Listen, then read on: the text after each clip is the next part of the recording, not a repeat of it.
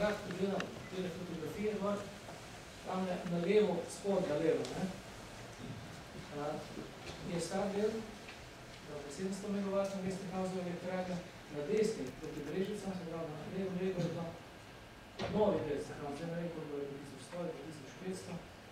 A, Glede na to, da pač mi delamo vzdrževalne in modifikacijske aktivnosti na tej elektrarni že kar 15 let uh, in se širimo, razvijamo se prav za to elektrarno, uh, bi nekako, veliko, mi, glede na to, kak je cikl zdaj, se pravi, ta remont, se pravi, 18 mesecev, glede koliko je dela, koliko je modifikacij, ne, nam ta zadeva, veliko, odločitev o novi elektrarni zelo prav prišla ko se lahko pravočasno začeli dobro razvijati v tem smislu.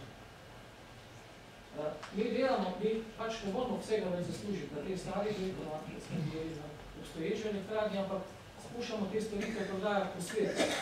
Mi smo že prisotni na 11 ameriških elektrarnah, na 4-5 evropskih, vendar naši ljudje moram reči, ne bodi radi to. Radi se doma bolj živijo.